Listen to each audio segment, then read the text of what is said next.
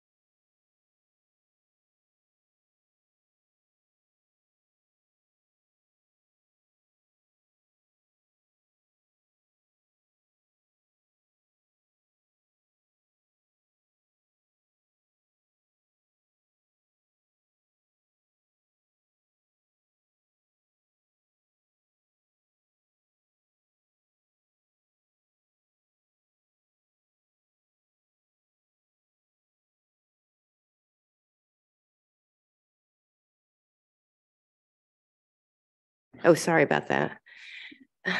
They're taken, you know, in other locations and you have a map so you can see where all this is.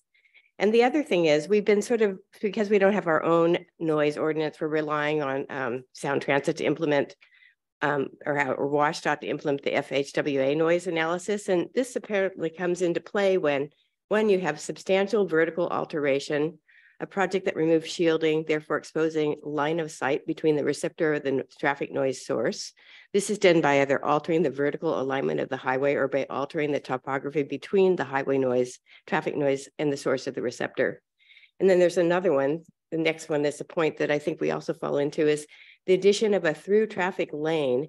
This includes the addition of a through bus or through traffic lane that functions as a high capacity vehicle lane, high occupancy lane, toll lane, bus lane, or truck climbing lane. And then the third one is restriping existing pavement for the purpose of adding a thoroughfare traffic lane or an auxiliary lane. So I think for those reasons alone, we have, we belong in the FHWA noise compliance zone, and that's been ignored. When you actually look at the study, so I, I sent it to you by email, and I realized it was hard to read in an email, so I made it into a PDF and sent it again. Sorry for the duplication, but also gave you a handout. And you can see where things are taken. Um, for example, along Bothell Way, the only thing that's really taken this way down, you can barely read this thing, but it's around 150th. Is there, yeah, 150th Street is where they took it on Bothell Way, um, not in the residential area. When they took it on 39th, they took it actually at a really almost a block away behind the houses at 162 something. So again, it's not a true reading of where this is happening. And even the one that was on Bothell Way, it was taken from behind the building. So there's a lot of weird stuff in this noise study in terms of how they actually got their numbers. And I would like you to, there's like 95 pages, but only seven really relate to us. And those are the seven I would like you to study because you will see that the noise study that was done was very flawed and that we deserve better is what it gets down to. Our community deserves better. And this project feels to me like it's really being rushed without a lot of careful thought. It could be done well. I support the BRT, but I also support good design. I support thoughtful design. I support critical thinking. And I think all of you do too. And it's the time that we start applying this to this project. Thank you. Let's see next, um, Thank you. Keep forgetting these were not automatic on. Paula Good. Welcome. Hi again. I am too also, I've also read that study and I've also contacted three separate noise and vibration companies to get my own analysis done because I, my property is a little bit different because I have the trifecta of soft slope and it's moving very close to me, et cetera. And they all have agreed that vibration coming from the roadway does affect slip. It does affect all of those things. And to say that there is, because of there's no noise ordinance, they don't have to follow a certain code. That's what that study says. And I find that very troubling because we're going to be affected, even though we don't have a noise ordinance. It's very easy to implement a noise ordinance. There's uh, a lot of a lot of local cities have the same no, noise ordinance, for example, as Seattle. It's a very it's a very concrete noise ordinance. It could be mandated very quickly before, since this study doesn't appear to be valid, since it's going on, it's for for expanding to the east. It's very possible that it could be implemented before they have to redo something for going on the west. And as far as the dB levels at my place, I have a dB because you know I have to worry about noise the decibel levels inside my building in with, you know, just like yesterday I was recording, I was at 72 decibels as traffic was going by. So that's already high. And there is no, there is no noise study by my property. And my property can be affected like anybody else's that's close to the slope by vibration when they move the road closer. So I also support transit, but I also support, as Vicky says, good design. And good design does not put uh, these properties in jeopardy because where is the benchmark? Do I have to get a benchmark of my property in order to prove to Sound Transit that I might have a problem? So those are my concerns. And I think that a, a full-on study for moving things to the west side should be performed just for the safety of the community because I also feel that things are rushed. And if they're rushing this particular piece, they could be rushing other things, and that could have serious impact to the residents. So that's why, yes, they are in a hurry, but they're also being a little bit careless, maybe not intentionally, but maybe, you know, it was COVID. They're, they're, they're, everybody's separated by COVID protocol and people can't get together and, and do good design. So that's what I'm for is to have something good. So the project will be successful. Thanks. Uh, let's see. Excuse me. Next, we have Julie. Sorry, no. Oh, okay. I'm just here as a cheerleader, not. a- I, I didn't mean to sign that form, sorry. No, You're fine, no worries. Uh, and how about your significant other? Yes. That's me. Okay, there we go. We got it. Hi, I'm John Drew, uh, ten-year resident of Lake Forest Park. I'm at one six one three six Forty First Avenue Northeast. And I'm here to comment about the retaining wall ordinance, uh, which I wholeheartedly support, and I appreciate your efforts to move it through the process. But I feel that I have a to make a small request for what I think is a modest modification to the ordinance. And that is that I feel that the design guidelines should include mitigation for noise pollution that might result from the use of highly reflective retaining wall materials. In situations where developers propose to construct tall, long retaining walls at the cost of removing trees, vegetation, and other naturally sound absorbing materials, the guidelines should simply ensure that sound absorbing materials, treatments, or vegetation be incorporated into the design of the retaining wall. Uh, some visual design features already in the ordinance, such as landscaping and vegetation, support sound absorption, but noise mitigation is not specifically called out. In lieu of any mitigation, developers should present evidence that proposed retaining wall constructions will not produce additional significant reflective noise pollution. In closing, I hope we can negotiate a more lightweight five twenty-two BRT design that doesn't sacrifice so many of our trees for tall con- concrete walls with etchings of trees. Thank you.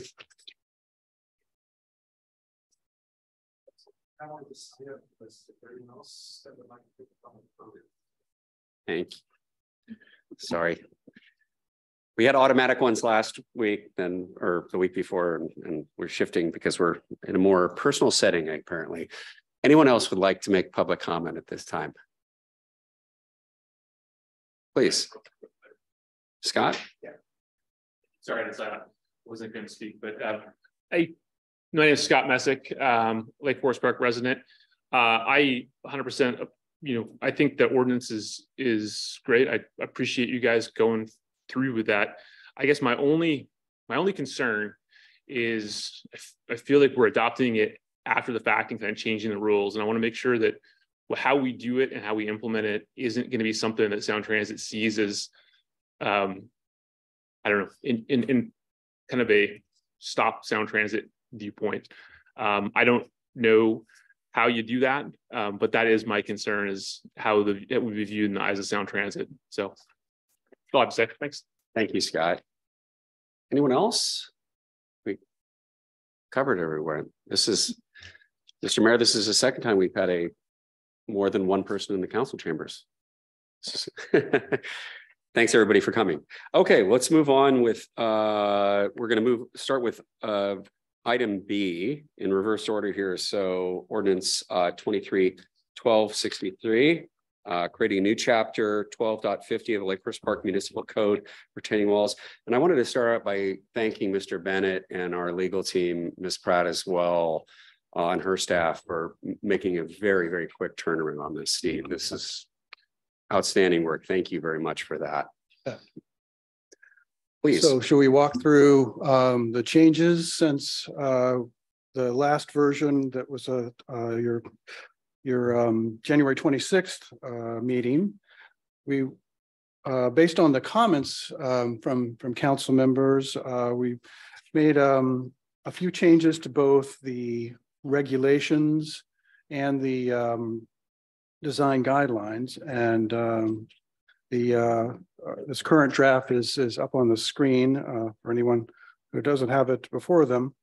Um, but so going right to the first change since the previous draft, that would be, um, section one of the, uh, ordinance. And, um, at the, the changes here were designed to address two sort of themes that were running through the comments. Number one being that, um, the, the, the, the draft, initial draft language was uh, providing some um, uh, more flexibility with the type of wall that would be allowed than council members seem to be comfortable with. So we've really restricted it to just um, uh, a, a, a con concrete construction or engineering um, block, I think is the other term that's still here. But so we've taken out the ability to use uh, timber or concrete laggings. Um, and, and the other thing that's uh, tried to address here was uh, the discussion, there, there wasn't really anything that uh, addressed sort of does, you know, does, does the construction, is it continuous? Does it, is there some point at which construction could change uh, lower or higher? And, and so instead of getting into maximum minimum heights, um, the, the attempt here is to just say that the whole thing has to be of the same uh, construction type. Uh, and then, so, so, and if it is tiered, uh, that the, uh, the, that also all has to be the same type of construction. Um, and thereby hopefully make that clear. And so, you know, there, there probably is some, still some work that be, could be done on, on defining exactly what is an independent wall segment. Uh, and, but, you know, uh, worst case, we could define that term just to, to make it clear if there, we don't come up with a better term. Um, the next change. Steve, uh, could I Yeah, interrupt you? Pardon me. Um, and colleagues, I was remiss in not um, checking in on how you would like to approach this. Um, we can approach it on a change by change basis and then come back to more thematic changes that you're looking for, or what's, what's your pleasure? How would you like to approach this? ordinance. I think as a whole, and then design guidelines as a whole would be useful for me. Okay, any other thoughts? Does that work for everybody? That works. Okay, great. Thank you for that. Okay, My apologies. continue, no Mr. problem. Bennett, Please. Um, the next change, uh, in section three was just a a wording change suggested by the city attorney. So I did not include an explanatory note there. And in section four, um, the draft design guidelines, uh, the new version of it makes landscaping mandatory. It was an alternative under the previous draft. Uh, so now, uh, this language in four just parallels that, uh, making it clear in the ordinance, uh, that, um, the retaining, uh, that landscaping treatments, would be required. Um, and would also have to be approved by the Public Works Director. Then in section five, uh, which is a new, new five, um, section four is a, a, new section. Section five is moved down to um, address some, some sort of, you, know, we didn't really have anything in here that, that uh, sort of dealt with those unforeseen circumstances or unique cir circumstances that come up uh, as a project comes to, uh, you know, you get farther and farther along with design. So uh, in a lot of our regulations, uh, we, we have the ability for the, the, the administrator of the regulations to set conditions. And so we've just put in um, a couple of um, typical conditions, especially when you're dealing with landscaping. Understood from the discussions we wanted, the, the council was concerned about having permanent irrigation. So we're limiting um, this to temporary irrigation and then uh, some sort of performance uh, plan implementation of, of three years. Uh, and, you know, the, there was some discussion about, is, is that typical for, for, for plantings? It is kind of, that's, that's some of our other regulations. A three-year plan uh, is typical. When it comes to monitoring plans, like when we're dealing with uh, critical areas, those are typically five-year plans. Uh, but that's, that's because you're trying to fight invasives and things like that. So this, this is, you know, just a, a starting place for, um, uh, for, for that discussion, and uh, we certainly can talk about it more. So those are um, the suggested changes to the um, the ordinance. Do you want to stop there and talk about them? Okay. Thank you. Um, couple of comments, uh, in item one with the rockeries and timber and concrete laggings. Um, would that language preclude us from using any of the green wall systems that are set up similar uh, to, uh, similar in that kind of wall construction type?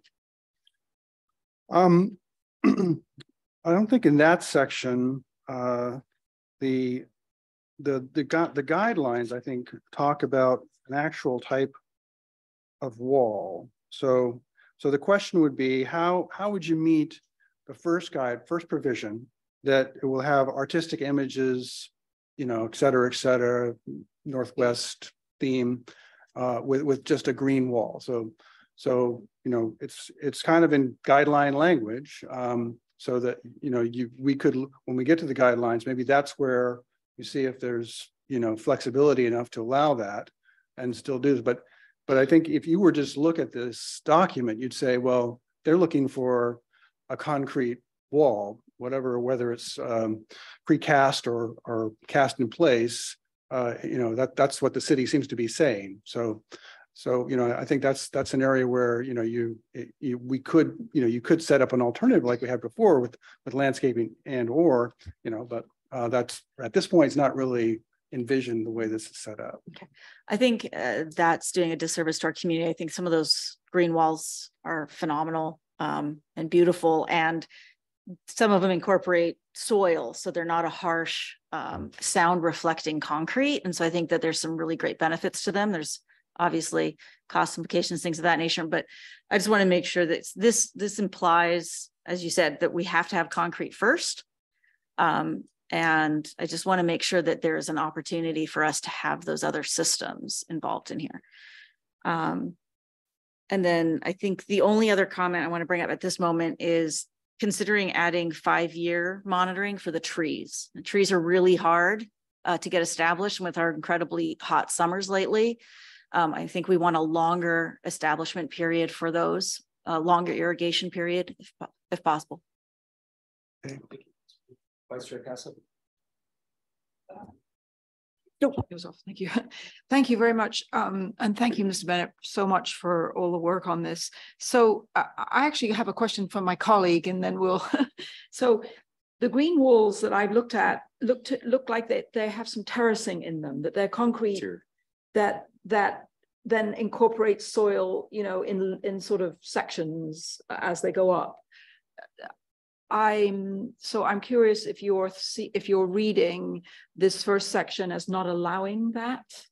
I get it. Okay. I think we're gonna share.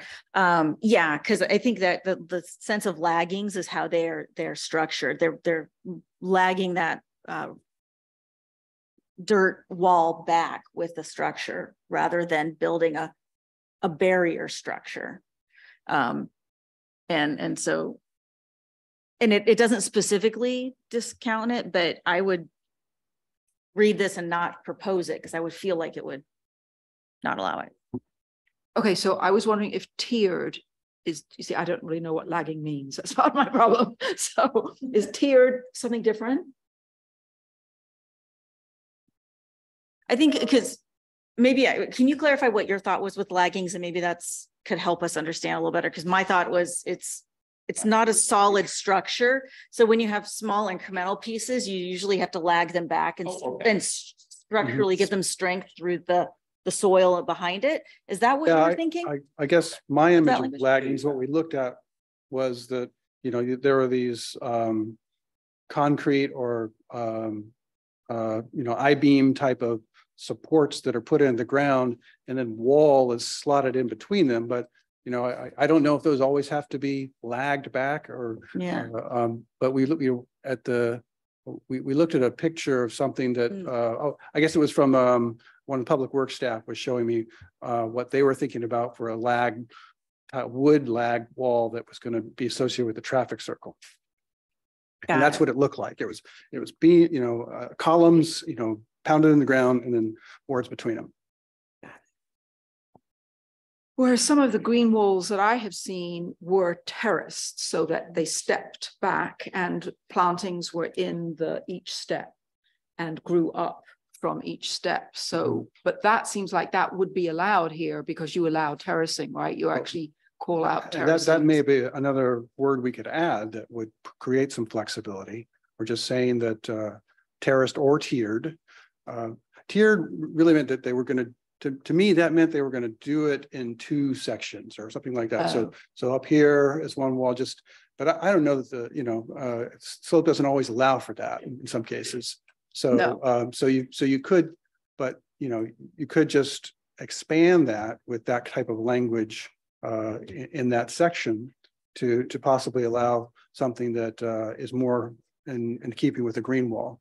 Okay, well, maybe we can work on that a little bit. And, um, and then the other question I had, in the irrigation, uh, section, you talk about funding. And so is the idea that the funding would come to the city and the city would be responsible for monitoring the, the actual function of the irrigation and make sure it keeps working throughout the year, the, the three years?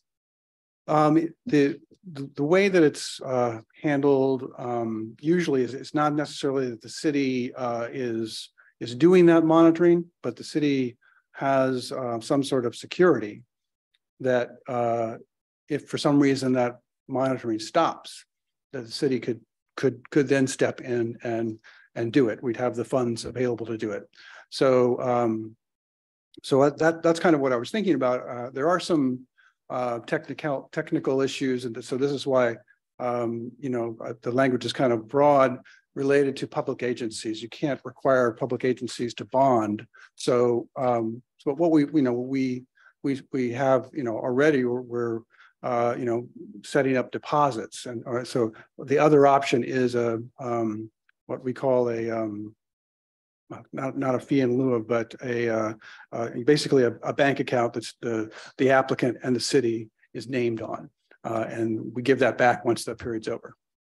Okay, that's great. And, and if I can just ask one more question? Okay. Um, so, um, I am interested in the noise issue and how we work that into, um, our, our, uh, ordinance here.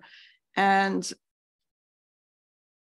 I, I just don't know that we know enough about what it takes to mitigate noise to really prescribe at this point, but, um, how about you? Do you know how we might uh, incorporate it into the ordinance? Well, well, I, you know, took a stab at that in the, the guidelines section, uh, that, that it at least should be discussed, and we could talk about that a little bit more. Uh, Okay, let- but, but we have, we have to remember that what we're trying to do, uh, I, I- I like the language that the gentleman said, uh, the, there were, doesn't produce any significant additional noise. Because we're, we're talking about a, a project that's coming into an existing environment where there already are existing impacts that, that you can't hold an applicant to fixing. So. Well, let, let's talk about that when we get to the guidelines. yeah, Thank you. Okay. Yeah, um, thank you. Um, I, I appreciate that you've taken the council's feedback on board from the previous meeting, and I appreciate that you're prioritizing vegetation. Um, I did want to ask about section four. Sure. Um, do you see, um, could you foresee a situation where there's a section of a wall that just for some reason cannot have any vegetation? It's, it's too inaccessible, that sort of thing. And if that is the case, would this section be too prescriptive in that it would effectively forbid the wall that they have to build? Um, I, I think that, um, the idea, the, the way that this is set up is to, um, say that the Public Works Director, um, you know, can, if, if the, what's presented is, um, in keeping with the design guidelines, then the Public Works Director can approve it. So, so you're, you're immediately sent to the design guidelines. And so that's where kind of you have the flexibility, uh, to, to, to, to work with the situation that the applicant finds themselves in. And, and so that's another reason I think, you know, when we look, when we look at that section, we need to also look at, at provision two.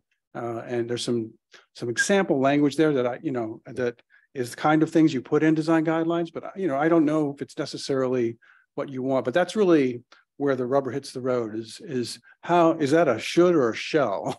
You know, that, that, like we talked about when we were doing the town center design guidelines. You know, you- you- that, that's where you have your ability to- to dial it up or down. Thanks. Mr. Goldman. Uh, yes, please, Mr. Furutani. Thanks, Deputy Mayor. Um, and thanks, Steve, again for your uh, great report. Um, the, uh, I had- asked a question last time about the height.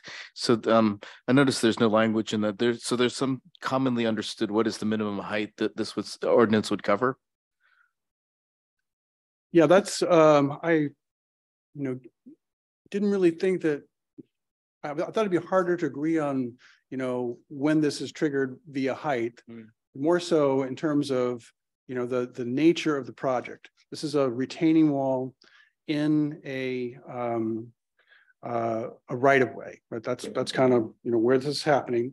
And so if you're gonna, you want to propose a new retaining wall, whether it's the city or another agency, then uh, regardless of how high it is, it has to meet these standards. Okay. So I- that's why I, I thought it was just too uh, difficult to establish that minimum or maximum height, because you don't really know what you're, uh, if you set a maximum height, uh, then are you, you know, precluding something that you're, you know, that the city wants to do because it went six inches over that. So uh, that, that was my thinking about it, in that first change. Thanks.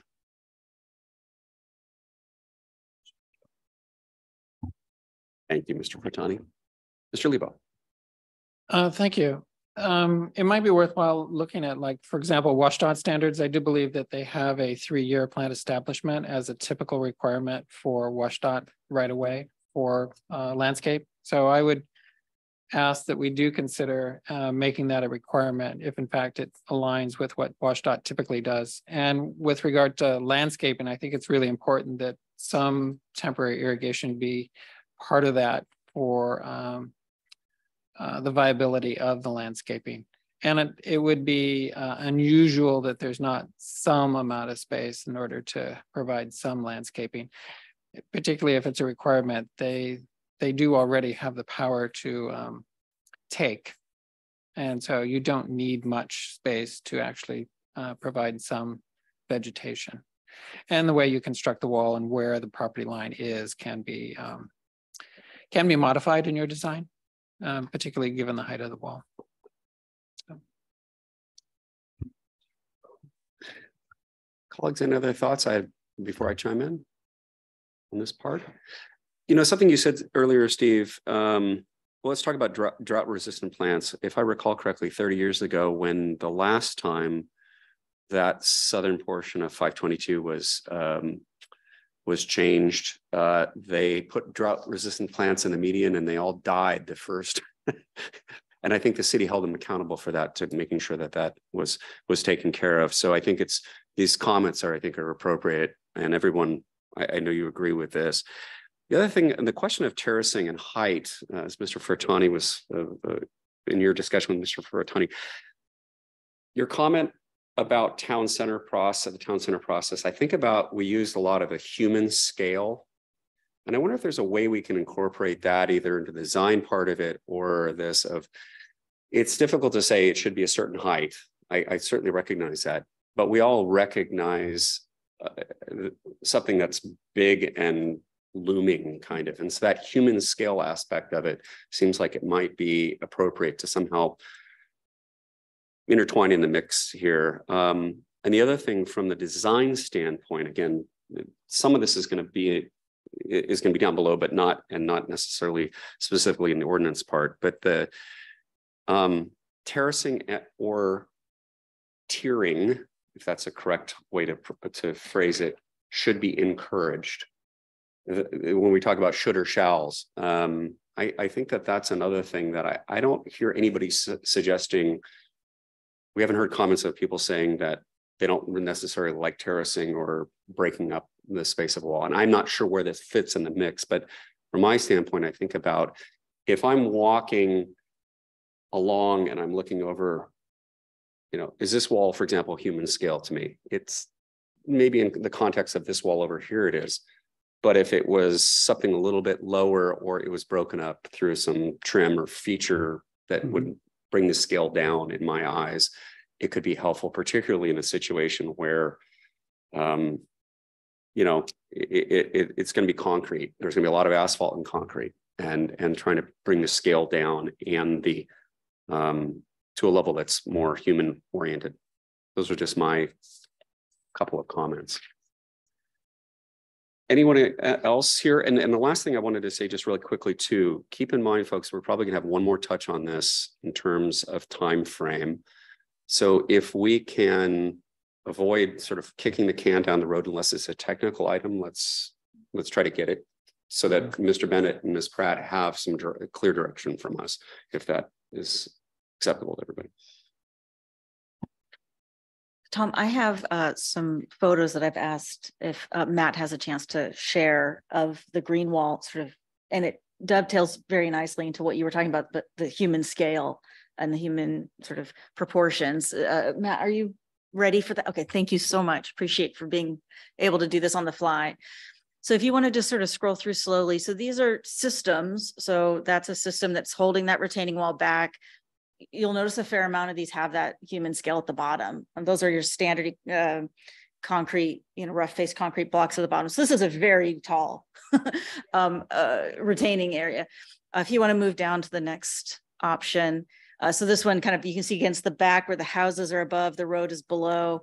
Um, that is a little deeper, so, but it's just an idea of other places that have successfully used some form of green against roads. If you'd like to go to the next one, please, Matt. This is really, this is a more active and engaged, you know, where you, it's a more traditional uh, installation of, of the concrete blocks there. So it's not as unusual for someone to put in. Um, and then one, I think I have two more maybe. So this one really intrigued me. It's very steep and it's held back. It's, but you can see there's sort of that um, human scale bottom base to it. And then you've got the green above and you can see the fence at the top because we know Sound Transit that just loves fences at the tops of things. Um, and then I think the last one there, um, again, this one, again, higher end treatment at the bottom um, with the, the slate kind of look but it gives you an idea. And these are systems that oftentimes have a lot going on behind it, you know, that, that that's stabilizing it. But what you're seeing for the most part in most of these is uh, there's dirt behind it and not that hard concrete. And even the few that have concrete, they're the blocks that are shaped so that they don't um, do a strong reflection. They tend to break apart sound when it hits it, rather than a, a, concrete wall, especially a concave concrete wall that will actually work as like a focusing of sound. So these sorts of systems I think are great. I just want to make sure that these are not in any way um, not allowed in our code, because I think this is when people think highway, green, they're looking for things like this, not the kinds of things that we see bordering Highway 90 going up, you know, through Issaquah. It's like, this isn't Highway 90 through Issaquah. It's a, it's a great highway, but it's not that. And when I see these big concrete, even when they're beautifully stamped, and even the ones that are in Kenmore and Bothell, they just scream, I'm a highway, and not, I'm in your neighborhood. And so this is, again, this is my vision. I don't know how to make it happen, but I, would like to show my, this is what I like to show my colleagues. This is my thoughts. Councilman Riddle. Uh, colleagues, just on point, any comments about Councilman Riddle's um, green walls, examples. If I may, yeah. Um, so I just am very curious about the steepness of it and what actually is growing on it and how it stays there and doesn't slip off in a big rainstorm. So, you know, that that's what kind of worries me about this is like, wow, I mean, how steep is that? I can't really, you, mm. you know, mm. because if if one of the things that I think, the balance that I think we probably have to worry about here is that the more, as, as the, as, the more vertical you are, the less takings there exactly. are. And, and so, you know, so we want to try to, to minimize the takings because these are our, these are our neighbors' homes here that we're talking about. But so I'm more intrigued if you go up a little bit by that one that is sort of terraced. Next one right there. Yeah, that by that, because it seems like you could get the steepness, minimize the takings, but still get the green. So I don't, I don't, what, what do you think? Um, yeah, there, there's links here to look at how they work. Um, I can share this with the council. Uh, I think you did. I think, oh, maybe, yeah. Yeah, I think maybe not the whole council. I'll share this with the whole council. Um, so I can't speak to each and every one. I've not personally used any of these. So this is not coming from that personal experience, unfortunately. But um, some do require you to dig back and kind of do work behind it to stabilize, but then you infill it. It's so some of them are more invasive than others, but I, I agree. I think this one is is a pretty decent intermediate option. Um, but it's just something Sound too. From what I've learned from working with um, an interior acoustician, which is very different from exterior, but if you, the more you have facets on a space, the, the more the sound gets kind of dispersed rather than directed. Colleagues, other thoughts on topic? Mr. Lee, Um, I have built the uh, first example. Um, we refer to it as a burrito wrap wall. They're, um, if you go up that one there, it's a highly engineered wall that you have to go back, um, and you basically take a geotextile. No, you take a geotextile, you lay it out, you fill it with, um, uh, soil and rock, and then you fold the geotextile back. And you do this over and over again. And so what you see there are the individual um, wraps of the geotextile fabric. And then you can spray them or plant within the soils because what you do on the leading edge is you actually place soil for a, a growing medium and then back is some structural fill. And so the wall is engineered as layers of material. Um, but all of the solutions require that you engineer back a certain distance. And so you end up basic, you end up, the wall is actually much deeper uh, as in terms of the area that you have to take. They're nice. Um, It can in the right circumstances where you have. It's uh in where you have the area to do it and you can engineer it, it's actually less expensive.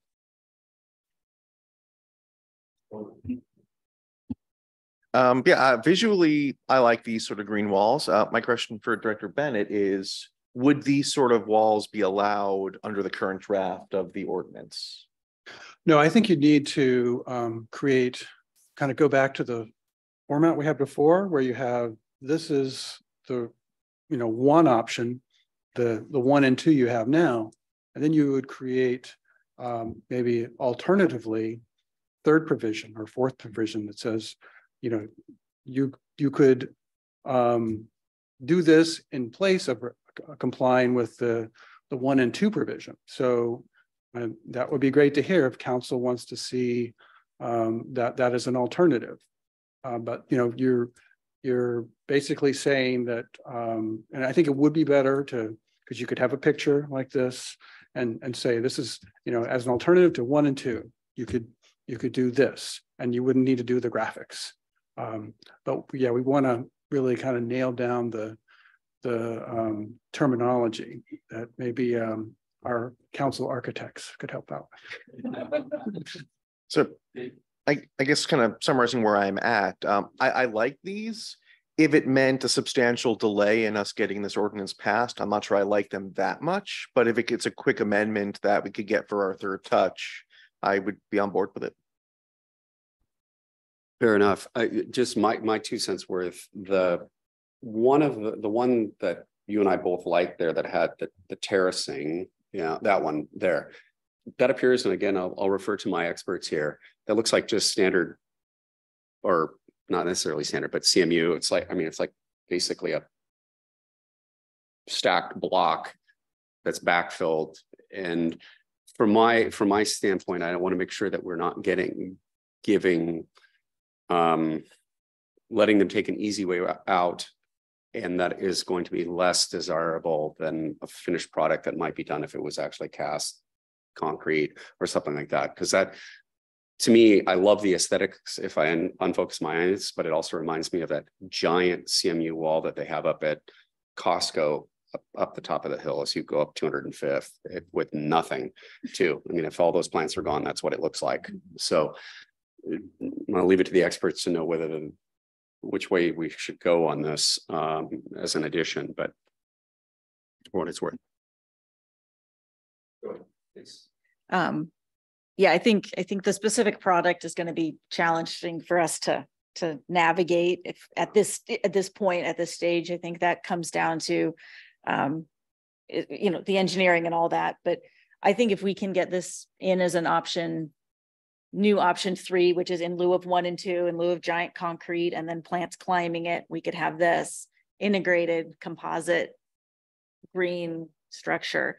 I think the one thing that might be useful is the conversation about the sort of uh, human scale element, and especially with this one, because a lot of times these are kind of built with a, a base, sort of a human scale base, and then that also provides us some protection of if a car kind of comes off the highway, it has something solid and concrete to hit, and then the nice green wall would be above it. Um, probably be more um resilient, I maybe, and maybe I'm just imagining things, but that would be my thought. So I think a, a few technical tweaks, and I think we should do our best to try to get this in. Um, and I think that's it, yeah. had a comment. Uh, just that, uh, most of these are engineered walls and they do take a certain amount of distance behind them to, to be able to make that work. And so where you have, for example, you're not wanting to take up much area, you build a vertical wall. These, these are engineered solutions. I mean, you could make an option there that says, you know, you can build a battered engineered soil wall. They're not gonna do it, uh, because it would require too much area and too, too much expense to actually do it. You do it where you have the room, and I, and I've built them, but. And they're just, What's, what's your pleasure of line additional the three year? Please. Well, I, I don't see any downside to putting in an option three that sort of invites um, alternative treatments that would increase greenness, you know, greenness, increase um, green, I don't know how to say that, and uh, noise mitigation. Um, and so, so that if such a thing were possible and available and they could do it, they have the option to do it, but kind of not spending a lot of time on this, but more leaving it open for them to come with, with an idea that then has to be looked at by the Public Works Director and approved for use. Would that work? Yeah, I don't think it'd be that hard like to, that? to add a, a third, uh, uh, an alternative provision with a picture. And we, uh, if it's, you think it will be okay to use that, um, picture, Councilmember Riddle, is that public domain? you think?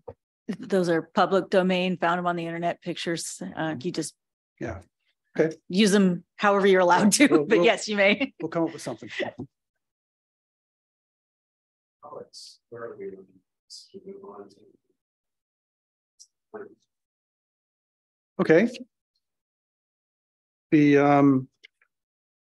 The first change in the guidelines um. Is on the second page of that, that document. And um, so this is where the.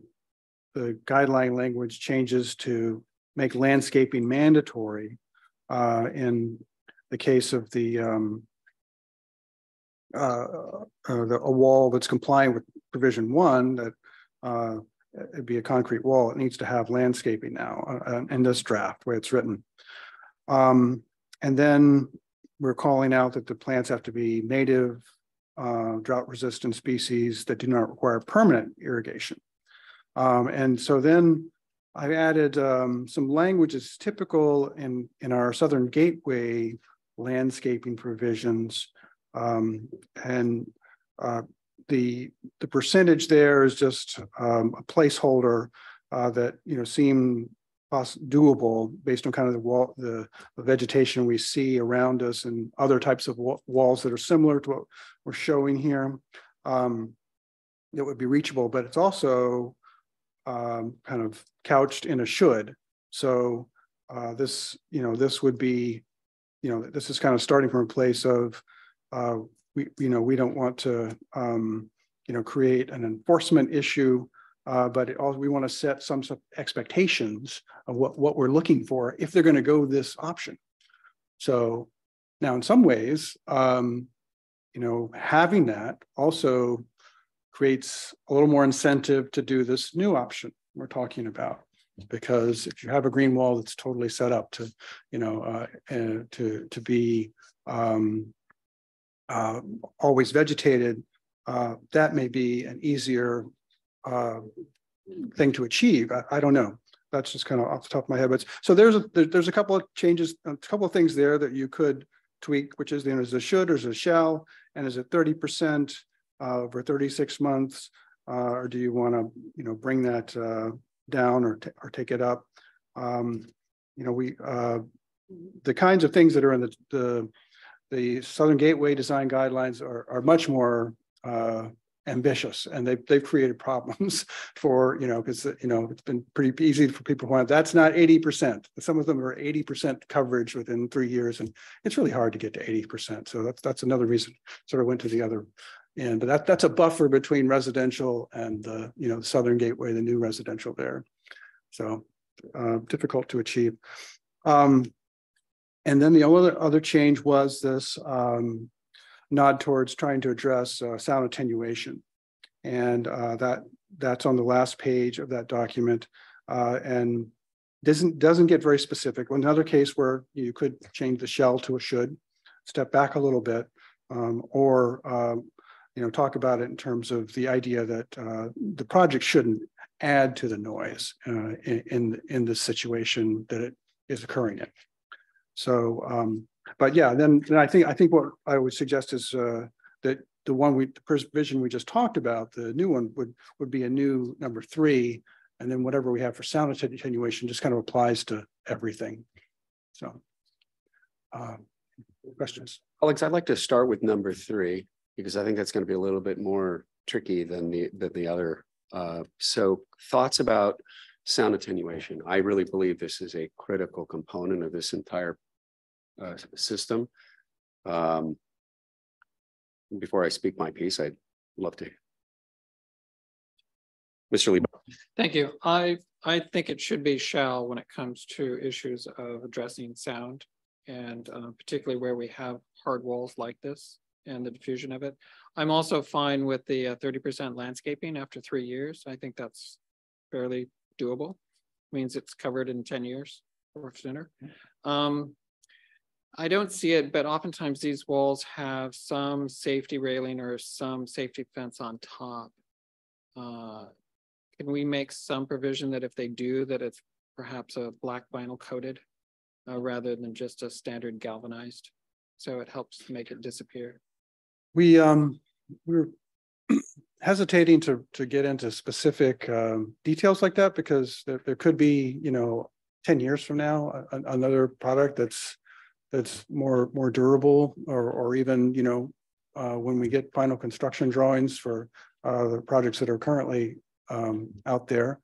So um, you know I think number one the building code is going to kick in uh, that it's going to require a, some kind of fence at the top.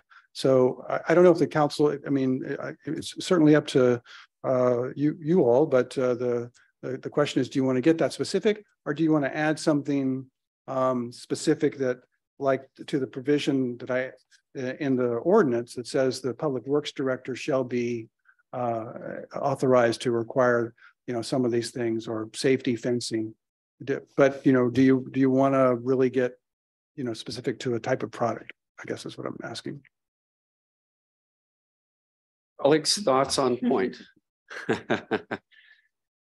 this is what we call hard coding in my world. And Mr. Bennett has deflected us away from that a lot when it comes to some of these land use codes. Ms. Riddle. I know that it would be a cost, but I think how how can we know that there that the system is going to do this without having some sort of acoustical engineering sort of report or something?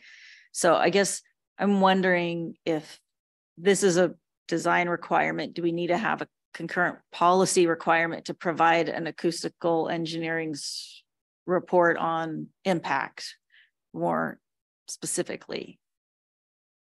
Because I, I don't know how, if they came and said, yes, this works, I mean, we go through all of this, it builds it and it, it doesn't really impact, I, or it's worse. So I guess that's my question to my colleagues as well.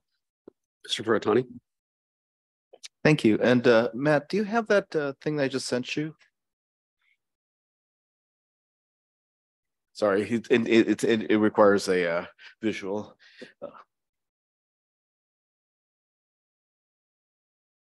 There we go. All right, thanks very much. Um, so um, you know you're on city council when you start taking infrastructure pictures of other cities. Th- This is, this is Tokyo, and uh, I happened to see this uh, on a construction site. It, what the sign shows, it says in Japanese, is the ambient sound in decibels on the left and the uh, construction uh, sound uh, decibels on the right. And there's a municipal code apparently that says that you have to have these signs at these kinds of sites. And so I had a thought that it might be interesting to try to have uh, these signs installed on large retaining wall projects. Um, the, our attorney said that we can't have two different topics on the same bill, which is reasonable. But I'm thinking that, you know, to, to address your point about how do you know if it's working, this might be a way to basically let it be completely transparent that this is, you know, what we're hearing here, right? And to um to Councilmember Lebo's point, um agree about the uh, um keeping the look correct. Um I'm a little hesitant about just giving the Public Works Director because we switched Public Works Directors, hopefully not really soon or anything. Um and uh you know, the the interpretation may vary or does it vary very much from Public Works Director to the next? Well, fence type, yeah, that could vary. I mean, so if you want, if you want, you know, vinyl coated chain link fence, then yeah, you can say it in the code. Right, but if we leave it to this, the wording that you had, which is to say that the discretion of the Public Works Director, is there sort of a, a generic thing that uh, Public Works Directors think of when they think of what fits with the community? Well, that's, that's where your, the guidelines could come in. You, you could give the applicant and the public works director pictures of. Of, you know, acceptable types of fences Hmm. at the tops. Um, so.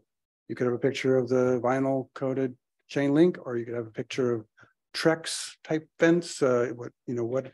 Um, they don't give them some options. Thanks. Mr. Goldman? Um, yeah, so um, I'm very happy that you included the sound provision. Uh, I think it strikes a balance that we definitely wanted in there so that sound mitigation is not completely ignored. But I also think we shouldn't try to be too prescriptive and the amount of technical knowledge we would need to really have a lot of details, I think would slow the process down. So I think that strikes a balance. Also, it seems to me that the nature of this is someone's going to be applying for a permit to build the retaining wall. And so whoever is processing the permit would have to see that, oh, yep, you have considered sound attenuation. So it seems to me that there is sort of an enforcement in there that some city staff member would need to check to make sure that they didn't just rubber stamp some sort of sound, that they actually had something to confirm that. So I think as is, I think it, it covers what we would like it to cover. Uh, thank you, Councilmember Goldman, um, because that's, that, uh, I, am going to disagree with you a little bit. Uh, because, because it sparked with me, uh, something that I think, um, we should ask for, and that is, um, some documentation from Sound Transit as to the pretty much really what you were looking at there in Tokyo, the current uh, sound measurements and um, within a certain time frame after the completion of the project, you know, that, that they need to demonstrate that they've done their best. I, I'm not quite sure how to word this, Steve. Let me give it some thought uh, here, and maybe I'll come back to you in a few minutes. But uh, Okay, well, I mean, I, I think, I- you know, I I can see that- something kind of coming just in, a you know, another sentence here where you'd say that, uh, um, you know, you keep the shell. town sound, sound attenuation should, um, um, be considered in the design process. Um, at a minimum, you keep that and then say, and, uh, the applicant shall ensure that the project does not significantly increase, um, sound levels, uh, after construction. So, so that you've told the public works director and the applicant, they've got to show, um, you know, what the sound is now, what the sound is later, uh, after it's constructed. So there has to be some sort of noise, uh, report on, on what it is. So you can get more specific than that, but you, you put the process in motion um, by, by just saying that, uh, without having to, you know, know what the ANSI standard, you know, for uh, noise or whatever, something, you know, the report is that I have to do. Now, if we, between now and the time you take this to council, I mean, take, take it to consideration of adoption, you, you know, we, we find some standard uh, that, that that's not a huge change that you can you can just add be specify that it will comply with you know so and so's uh, noise reporting uh, standards. Okay, thank you. That that's very helpful. I I just my feeling is that a, a little a little accountability is necessary in this particular circumstance. Okay. Thank you, Philippa, and and and also thank you for disagreeing with Councilmember Goldman first. It softens the blow, Larry. No, I, I, I with respect, I, I, I, I certainly appreciate the, the the spirit of what you're saying and and your thoughts. I I would like to see a little more accountability as well, uh, just partially because having seen what WSDOT has done in the past on this corridor and in other areas, uh, you know, we do know unequivocally sound is is an environmental hazard if it's too high and and it really does um, have a direct relationship to people's quality of life. If it's too noisy there's all sorts of studies that show how how dangerous it, it can be. So i do i would like to see this to be stronger without being overly burdensome um, but at the same time i want to put the um, the burden on the applicant to make sure that they're held accountable in this in this regard because um, it, it is important. I mean, you know, the fact that Mercer Island gets to test out and Medina gets to test out quieter pavements and we don't says a lot about sound. And so I think that it's important for us to to really kind of put it into a little bit more of a of, of an equation kind of thing as much as we can without making it administratively impossible. So, Councilmember. Yeah, I think in in the same vein, um, I think also if they if I would like to see some sort of acoustical report or something or or meeting an ANSI standard. I, I like before the construction because once it's constructed, it's a little hard to come back and fix it. So I like the idea of having something in the application process that holds them accountable. And then afterwards, there's a validation of that. So my preference would be hitting it in both spots. Just a quick, quick note, quick note for the public. Uh, Council member uh, Vice Chair Kassover brought to us a revision of the noise ordinance a number of years ago, which I piggybacked on about trucks and vehicle, heavy vehicles. And again, that's imperfect, but that was a place where we put a stake in the ground to say we've got to be cautious about the noise levels in our community. Council or Vice Chair Kassover, excuse me. yes, um, thank you, Chair. Um, and thank you, um, Vicky, for giving us this handout because there is some data here that has been collected, but as she points out, it's not been collected right where we're talking about with this wall. So maybe we can ask that that the same studies that they did in other places along the corridor happen right where the wall is going to be. Um, the the project area noise level um, I haven't I haven't had a chance to read the whole thing, but I think there's something use there's some useful information here that we could draw on. Mr. Goldman and then Mr. Lebo. Uh, just a couple things to think about. Um, if you put in a requirement that they have to come back and demonstrate that this wall doesn't have a certain sound um, level, you're going to have a really hard time because it will be very difficult to say that now is it the wall that's causing it? And if the wall is causing it, because the concrete is a harder surface than a vegetated or soiled area, uh, the question is, what do you do with it? And we know that concrete is a harder surface than vegetated surfaces. Um, so I would caution against. But, John, do you think that the box? Yes. Uh, a couple of reasons. One, they only represent Uh, right, they have different facets and they only represent a portion of the, of the area of the slope because much of it is sloped. Uh, that doesn't have, um, hard surfaces. But you, you may find yourself in this quandary if you require some sort of magic level that they're supposed to achieve after you've done, you're gonna have a difficult time. What are you gonna do with it? Um, and they're gonna be very, um, how do I say, not very friendly towards that because it's a very difficult thing to do to say that it can't exceed a certain dB level at a certain distance from the wall. Because they're not going to be able to guarantee that that's going to happen because it can be affected by a lot of things. The, including traffic.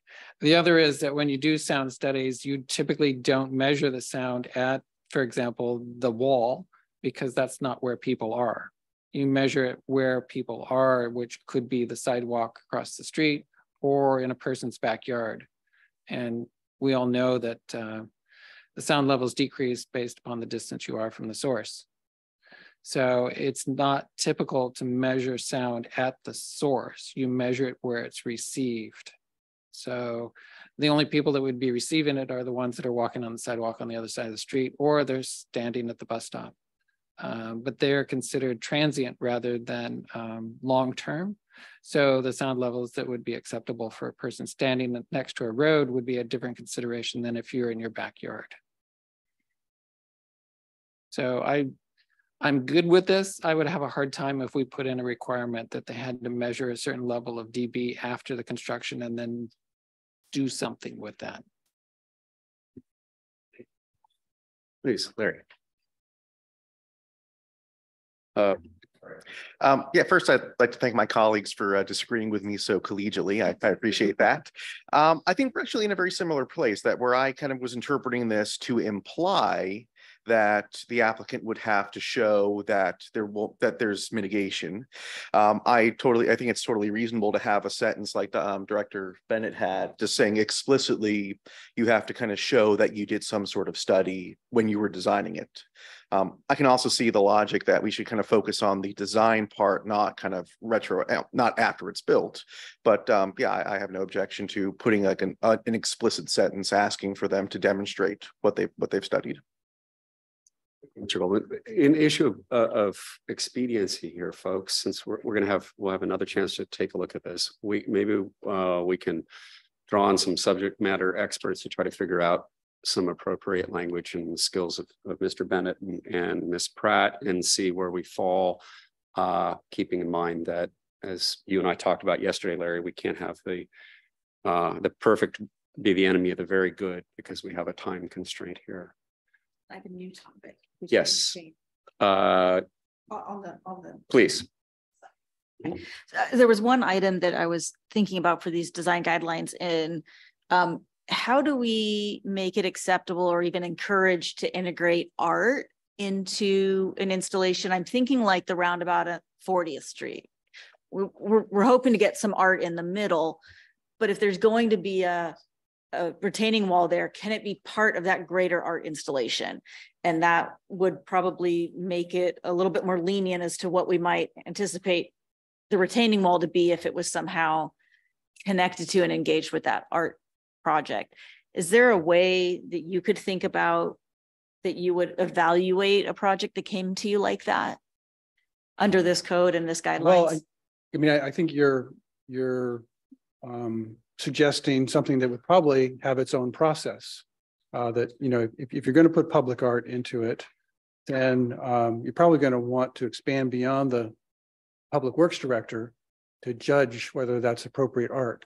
So do you want to inject that into this this process or do you want to you know kind of uh, establish that here's the look we're looking for um, now i mean it, it, in the case of a traffic circle it, it, that's a city project it makes great sense to to, to do something like that but I, I guess you know the question is what's what's the trade-off of adding uh, another process to this because uh, because uh, I don't think the public works director is going to be comfortable saying that's great art. We should have that. I think it's is it yes. So the art the art selection process is a whole other ball game. But I guess I just want to know was there language in here that gives that flexibility? Like if they do something really unique that we don't have in here for us to be able to consider it? I, I don't think, um, yeah, it- this would stop them from doing something like that. Okay, The, the question is, you know, where, are you going to, to, uh, you know, create a- an incentive for them to do that and, and what, what did, what's entailed that? I think that I'd like to hear from the full council. of course. We'll let them noodle maybe when we're back, but that one, I mostly just want to make sure it's not necessarily like strictly prohibited. Because Yeah. what if they wanted a blank wall but had a mural on it? So that was, that wouldn't be necessarily meeting these current design guidelines, because we wouldn't want them to build just a blank boring wall, but if the intent is to tie it in with an additional sort of project, it's risky, but Got a thought? Yeah. Uh, yeah, I, uh, Summer, I have to say it's great that you're thinking ahead, but I think you're thinking ahead a long way. I think it's going to be many months, if not some years before the traffic circle is ready for real attention. And I would recommend that we postpone any thoughts on that for until closer to the time. Um, and that we just focus on the project that's immediately in front of us right now and make sure this ordinance does everything we want for this project uh, on five twenty-two. So, um, because as I conjectured last meeting, I don't think Sound Transit's gonna wait very long before they start applying for permits. So. Yeah, and uh, th- thank you for your, your thoughts there, um, Vice Chair Kassover. And I certainly hear what you're saying, uh, Semra. I think that uh, what I'm hearing Mr. Bennett say is that this would not, I don't believe that what we were looking at here would necessarily preclude us from saying, as long as we're not precluding us as a community saying, hey, we'd like to have this great art installation as part of this project, you know, uh, the, I, I think, I think we're okay there. And I, and I do agree with my colleague here. We do have to keep our eye on the ball on this one because it's going to be, uh, and I completely agree with you when it comes to um, gateway kinds of things, roundabouts, whatever, I, that is a place that is absolutely critical for us to have aesthetically pleasing, um, artwork or things like that. This is a lot bigger and we have to think about, I think the, it's actually enormous. Uh, Think about what, uh, if there are opportunities there, you know, down the corridor potentially, certainly, as long as we're not precluding it in our code, then, then I think we're fine. Colleagues, any other thought on, on Councilmember Riddle, please? Uh, I, I think if there's, somebody wants to come in and present art as part of a solution, I think that would be wonderful. Um, so whether it's an option that's available to them, I'm fine with that. I would also like to say to the audience and our citizens that uh, one good way to reduce the sound levels is to reduce the speed limit. And I certainly hope that our citizens come and support an ordinance that uh, reduces the speed limit on Bothell Way. I think that will be one good way to reduce the sound levels along Bothell. Uh, colleagues. are you? This last- Any other questions? Representative, do you have what you need from Uh, I- I think so, yeah. Okay. So I assume we're gonna get back to this, uh, on the twenty-third is your next opportunity. That's. Yeah. My understanding as well. Bill and Peter. Okay, great. Thank That you.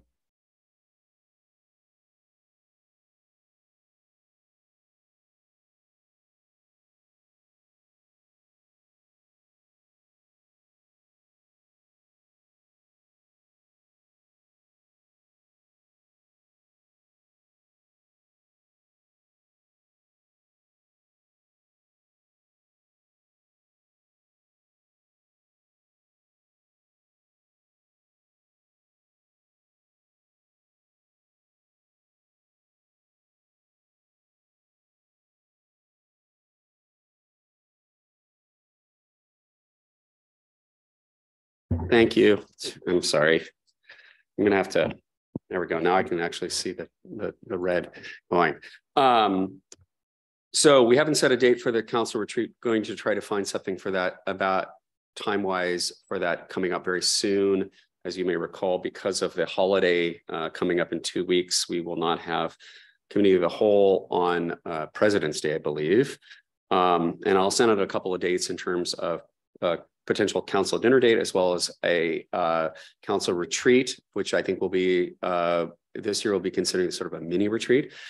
Um, I did receive from Councilmember Riddle and Councilmember Bodi, who who couldn't be with us today because she's traveling, um, a couple of thoughts, and I will quickly just read off Councilmember Bodi's thoughts just to get them into the record. Um, just you know, too many emails just have come through here. Here we go. Um, so Councilmember Bodi had said, this is not necessarily for the retreat. She wants early action on the sign ordinance, ordinance, an updated reasonable use exemption ordinance and residential parking permit program. This is more work plan things that we'll be discussing as well. Retreat topics I'd like to recommend include um, there's a typo here. Park master planning timeline and elements, updated comp plan timeline and elements, and three BRT community engagement and communication by the city for transparency, including for the permit processes. Boy, that went by fast. Could you just repeat that? You bet. The last one, All, all of them. My apologies. Um, too much coffee today. Park master planning timeline and elements. That's our first one. Updated comp plan timeline and elements. And the third one is uh, BRT community engagement and communication by the city for transparency, including for permit processes. Um, and I believe very strongly that uh, the top topic of community engagement is going to is going to rise to the top again. That was one of our top three last year. Um, but without getting into specifics right now, which we'll reserve for future meeting. Um, and then Councilmember Riddle, did you want me to just read off this real quick, the quick items, or you, go- go ahead. Do a quick read. I'll steal your Yeah. from you. Cliff's notes, we're gonna run. Cliff notes. Thank you. Yep. Um, I really want to work with uh, Seattle City Light and figure out how we can uh, improve uh, our infra- uh, and uh, power infrastructure. You're getting me nervous. Sorry. Here. Um. Kenmore did a big effort with PSE. Um, their effort included a lot of tree trimming too, so there's sort of a different, uh, but they did improve um, their power retention during storms. They had a lot fewer outages than we did. So there's work that can be done. We just have to start engaging with City Light and and seeing what we can do. Uh, so that's one. It's big. Um, two is to really look at updating the tree code to reflect any of the climate action plans recommendations that might come related to that and the tree board's recommendations. Um, but also to enhance it with more of an ecosystem approach um, that includes kind of that symbiotic understory so that we're looking just a hair more holistically and we just keep growing in that, how all these things tie together.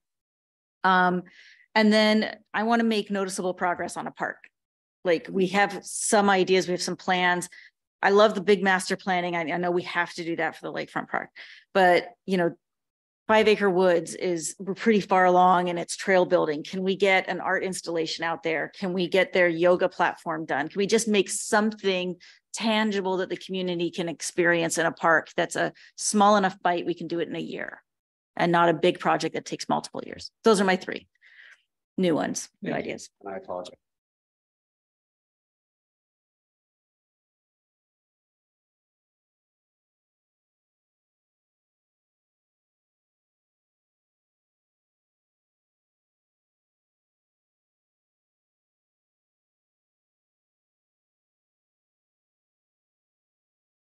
Um, I always like in any retreat for the first thing to do is to look back at the previous retreat and see Right. what we were thinking and what we've accomplished and what's still on the list.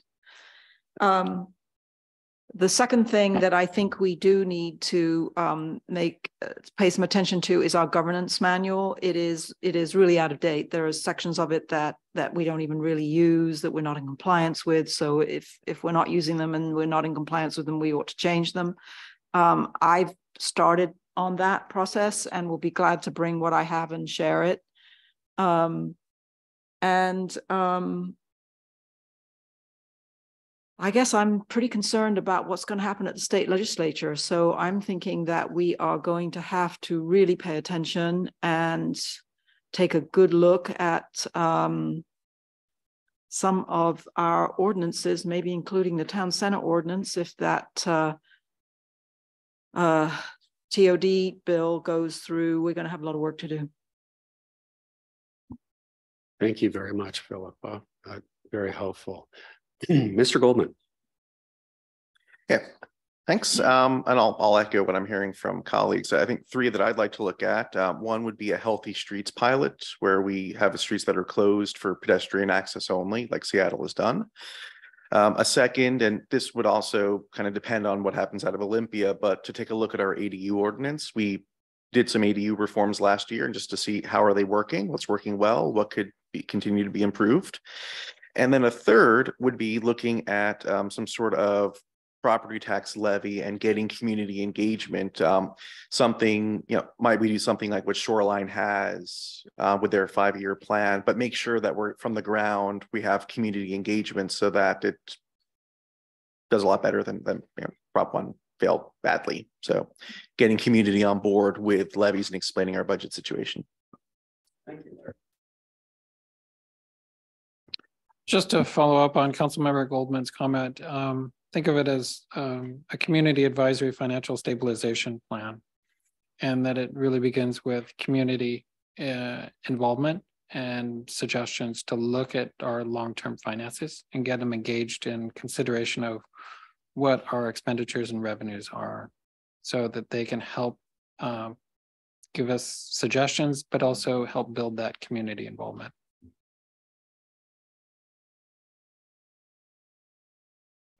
Tracy?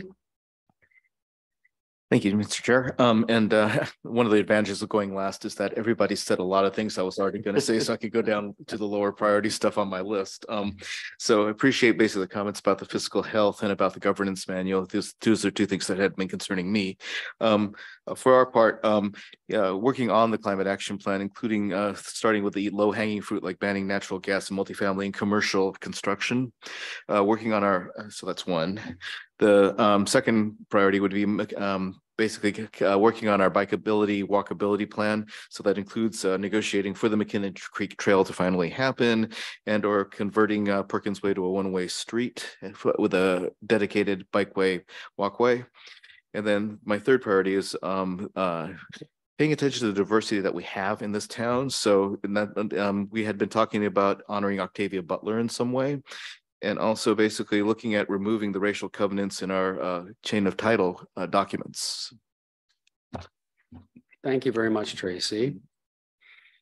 Other thoughts, and I can chime in here too, the benefit of going last, really, truly last.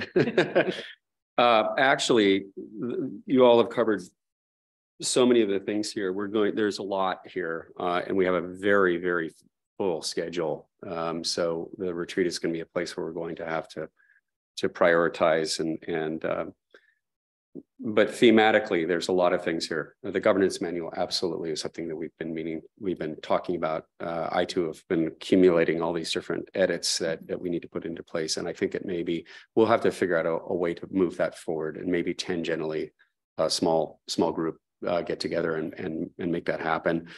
Um, the uh, the question of housing, I, I believe similarly, uh, the middle housing bills and as well as the the uh, TOD uh, aspects of some of the bills that are right now in the midst of uh, being discussed down in Olympia. We have to monitor that very, very carefully. I know the administration is doing it as well as our, our lobbyists are. Um, and uh, I I do appreciate the lens that you're talking about, looking at it through Philippa. You know, uh, looking at these things and thinking about where do we need to pivot in terms of figuring out um, changes to our own code relative to uh, depending on what happens down there. In addition to going down there and uh, expressing our viewpoints, um, which will happen next month, I'm I'm assuming, as well as on an ongoing basis. I appreciate what Mr. Lebo said about a community uh, financial action plan. I really, I really believe um, convening a group of citizens, regardless of the question of what the outcome is, I think it's important to continue that theme of engagement that we, we really worked on um, emphasizing last year, but because of the fact that we came out of the pandemic, sort of, um, and kind of bumped along there, there wasn't the opportunity to have the engagement that we, that we really, I know you're all committed to, as I certainly am. So I'd like to see community engagement um, on a number of things, financial questions, as well as uh, uh, immediate community, uh, uh, in the immediate future, community engagement on what's going on with sound transit as well. Uh, I think that that's something that's absolutely critical. Um, and I recognize that sound transit is, is going to be helping us to a certain degree, but we need it from our perspective. Um, and uh, let's see, I think that's pretty much where I am. The, I mean, again, the climate action plan to implementation of that is critical. Uh, looking at the diversity in our community is essential. And multimodal, and again, we already teed up um, speed limits and traffic calming last year. We've got to continue that good work, and that is a great segue into healthy streets. Uh, both Councilmember Riddle and Councilmember Goldman have been championing that, like Seattle's model, which I think is an outstanding one. Um, uh, and and also uh, Mr. Furutani's comments about um, multimodal pedestrian and bicycle friendly access. Um, that's something that we're going to be discussing um, on an ongoing basis. So these are really good things to think about, and then we'll be distilling them down as again into the, the big sort of the big themes, and then figuring out what where we have in terms what we have in terms of the capacity based upon the fact that we have the comp plan, we have pre-code revisions, we have a serious amount of code revisions that are coming as well. And and it goes without saying, you guys said don't talk about that too much, so I'm I'm going to let you talk about speed limits. Yes, um, not that I'm ever one to talk about speed limits, but speed limits, I think, uh, too, um, is we're going to be a critical component um, of this year's discussions. So, other thoughts? Well, Councilman Riddle. Just to, I guess, sixth, the um, need for for community engagement. Um, I think we had a really good uh, interest in la at last year's retreat, but we just never quite were able to get it off the ground. I think there's still some concerns, pandemic and stuff, but we're seeing people come back. We're seeing a need. We're seeing an engagement. We're seeing a willingness, I think, to bring in, um, you know, listening sessions and other methods to hear from our community that's outside the three minute uh, public comment and that maybe is less structured on topic that just lets us listen to them in a really open and engaging way. I think we're all really excited about that, but it just wasn't the right time. And I think now this year is the right time. And I agree with my colleagues on that. And I'd be remiss if I didn't uh, acknowledge um, Vice Chair Kassover's comment about reflecting back. How are things working? How is our ADU ordinance working? How, or you actually said that would said it earlier today. I guess. She actually said this in an early meeting. Sorry, I'm conflating meetings, Larry. My apologies. Um, and I think that that is really important for us to do as part of the process. How is the tree ordinance going? How is the ADU ordinance? Are we encouraging the what we're look what the community has asked us to codify? Um, and what are those metrics? So again, without overburdening staff or anything else, we can get some baseline, uh, you know, some basic understandings of whether it's successful, uh, whether it's a tree ordinance or whether it's the ADU ordinance or whether it's, uh, you know, and, and, hopefully soon to be determined the speed limit uh, changes that we're looking for. Um, because we did pivot with the tree ordinance a number of years ago and had to revise it um, because it it was it was a first shot at it and it didn't work so great. Some ways it worked really well, but we had to uh, pivot and and revise it. And and since then, while it's not it's not perfect by any stretch of the imagination, it's a lot better than it was, and and and a leader in the state. So uh, that remains. Uh, um, I also think about the plastics ordinance. So I'd be remiss if I didn't mention that as well. Colleagues, thoughts? We're at 731. I, I'm one minute over my allotted time here. You have to stand up, I know. Are you all right? Please. Any other thoughts before we uh, call it for the evening? And the last thing I just wanted to say really quickly is uh, two, uh, we are going to be talking about speed limits and traffic calming at the work session on Thursday. just to let you know. Mr. Mayor, or City Administrator Hill? Okay. Well, thank you, everybody. Appreciate it. And uh, I won't use the gavel. We're adjourned. Thank you. Thanks for coming, you guys. Thanks for coming. I think, yeah, that